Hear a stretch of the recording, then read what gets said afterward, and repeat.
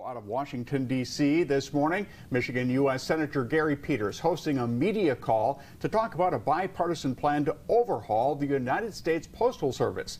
Senator Peters says this new bill is the first major piece of postal legislation in 15 years.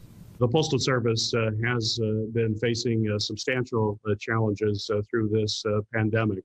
Uh, and delivery uh, has suffered as a result of that. There have also been significant financial challenges uh, for the Postal Service uh, as the economy continues uh, to evolve.